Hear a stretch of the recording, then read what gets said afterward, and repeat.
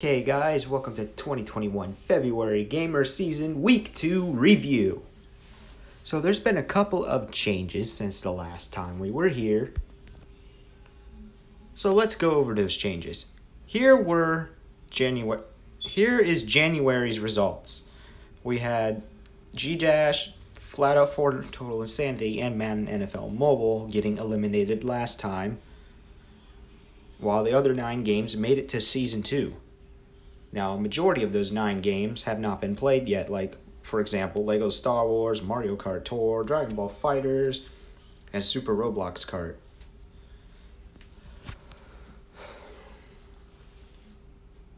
As we've and out of this season, we've only played six of the 11 games in the entire season.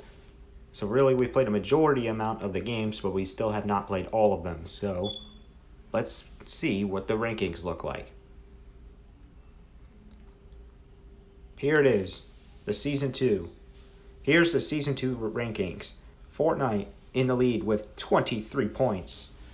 Minecraft in second place with 9 points. Fall Guys in third with 7 points. Fun Run 3 in fourth place with 5 points. Among Us is in sixth, fifth with 1 point. And because Brawlhalla lost the tiebreaker to Among Us, they are sixth in the power rankings. Now, they now this isn't final, as there's still five other games that have not shown up yet. As as always for this season, the bottom three will be eliminated. So the ones 9th, 10th, and 11th will be removed. It is no longer safe to get ninth place.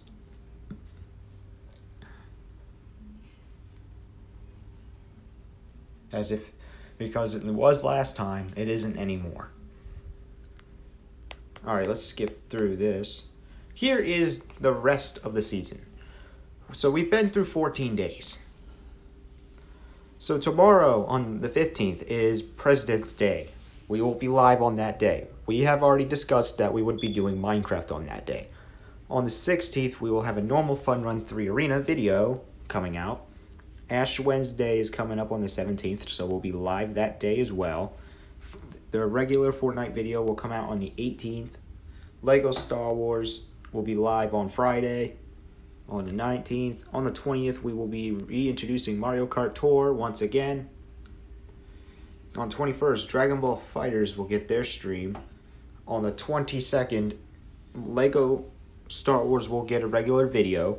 On the 23rd, Mario Kart Tour will also get a regular video. 24th, Dragon Ball FighterZ will get a regular video 25th.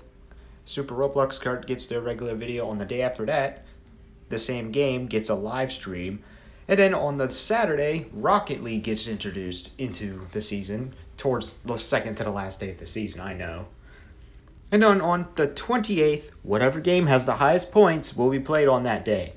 And that will be the and that will count for points if they make it on that list because they pretty much won the playoffs for that season.